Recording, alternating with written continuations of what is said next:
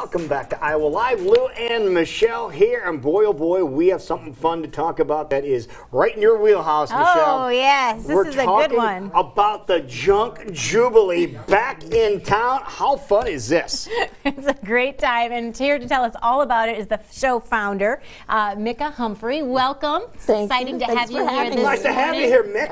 I'm excited. She- her friends call her Mick, so we're going to call her Mick because she has a really cool event that is going on at the Iowa State Fairgrounds. Yes, Now, in tell the us the- industries. Tell us a little bit about the history behind the Junk Um, Jubilee. And we're saying the Junk Jubilee in the best terms always, right? Oh yes, Always. It's fun junk. Uh, my cousin and I actually started it, and um, then a couple of years after that, uh, she went back to her accounting job, and uh, so we've carried on. And uh, this is the end of the ninth year. Wow, so it's been going on for quite some time. You- You had Yes. the brainstorm for this in, what, 2010, and the Mm-hmm. following year is when the Junk Jubilee came to be. Now, Right. it- did- were you kind of a collector of Oh, things yes. as well? Is that where it started? Did you I've kind always have loved antiques, and my family was really into it. And I loved to go. College was all about going to auctions and flea markets, and so I've always, I just love old things. And uh, then the kind of the repurpose movement kind of came, Sure. um, and not not necessarily to change how the thing, but more just how you can different ways Kind to of use expanded on it, really. And so uh, it's been exciting Yeah, to after- see the whole movement grow. Progression. The growth of it. Now, after all these years, uh, back in uh, 2011 is when the first one happened. It happened over at the fairgrounds, right? Okay. Mm-hmm. Yes. How have things uh, changed when it comes to the items that people are bringing to the Junk Jubilee? Well, I see a lot more. Um, it, you know, it's getting harder to find those one-of-a-kind items, but which those are kind of you know pe- the, what people really would like to have. Uh, um, other people uh, are more interested. Vintage clothing right now is getting is really Yeah. big. Um, So will we see more vintage clothing at the this year's Jubilee? um, some, some.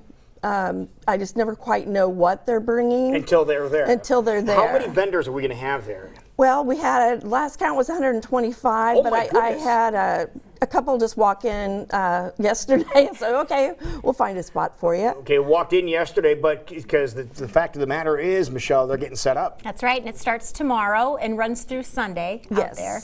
And talk about um, maybe are, are there any? Because I know it, you kind of expand it every year with it. Some of the new. I know we have some photos too that we're going to kind of um, highlight some of the items that people will see there. But talk about some of the maybe the newness of this year's event Oh, let's see. with well, maybe we some have vendors or items. Selena Vaughn bags uh, designs are back. Okay, here, Um, let's take a look at some of the things that we're, we- we're bringing over here. Tell us what this is. Um, this is just a, a poultry box that someone has made a table out of. They've taken Oh, okay. I was wondering what the heck spindles that was. from. They've taken spindles and probably cut um, a pole or just A railing or railing something, yeah. and made the legs, and then they've put a top on it. a good cutting board top Mm-hmm. is what it looks like, Michelle. Yeah, lots of unique pieces and upcycling. Oh, look at this. Everybody Examples. loves to find something from their hometown, Right. And uh, could be uh, depending on the height. There, it's like a, it's on rollers, so you could have it as a A table. a Coffee table, table. a coffee table. table. Uh, you know, but of course nice you're going to want to. storage in there, I bet. Oh, sure. You know, throw your pillows and your blankets TV in stand there. would be a TV good, good stand. yeah, thing for this one too. Right. Yeah. Yeah. How cool is that?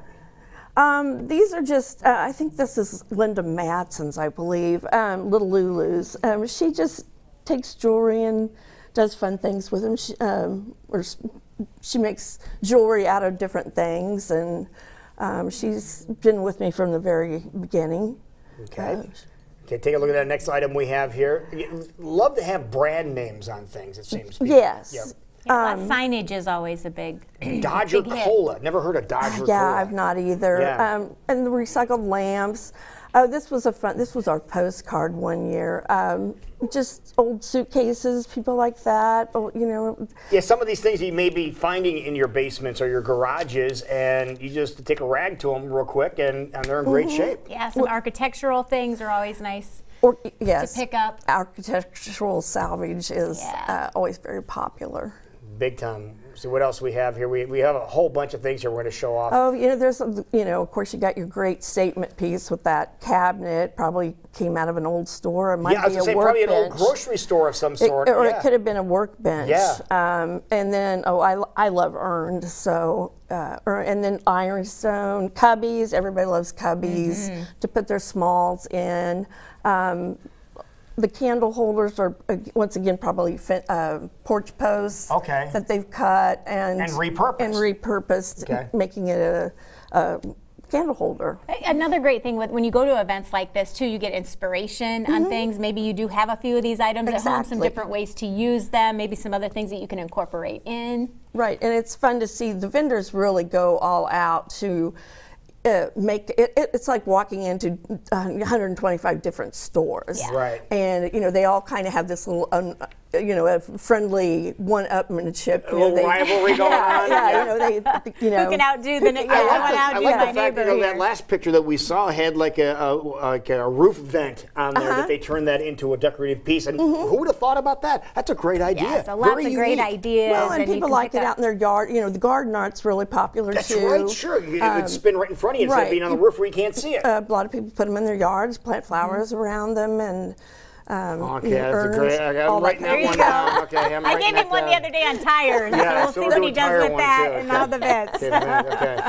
But, But this you is get some yeah, of the stuff. one of a kind pieces, very unique, and like you'd said, that's what people are really wanting, kind of those one of a kinds and things that are maybe a little bit more difficult to find. And it's junk jubilees and events like this that you're actually going to be able to it's, find them. it's not strictly antiques. It's you know collectibles. It's also repurposed, um, farm a lot of galvanized type things. Right. Um, but uh, You do the show in the spring. You do two shows a year, Yes. correct? One in the spring and then one this time of year, of course. And uh, talk about maybe is it the same vendors at each show, or, or what are some Um, of the differences? some are, have been with me from the very start. Right. Um, Rusty Pumpkin from Ankeny. Right. Uh, um, several. Okay, we I- get seven, I just seven went minutes from the blank. beginning. We'll, we'll figure that. Out. If you go there, you, you can find Mick, find Mick, and she'll point out some of the ones that have been there uh, from the very beginning. Right. But that's happening this weekend. It's happening starting tomorrow, going through Sunday. Eight- yes, Okay. 8 a.m. Uh, at the early bird, uh, 8 to 10, Mm-hmm. and then general admission starts at 10 to 5. Okay. And then Saturday 10 to 5 and Sunday 10 to 4. Excellent. Do we typically see a lot of holiday things at this Yes. show?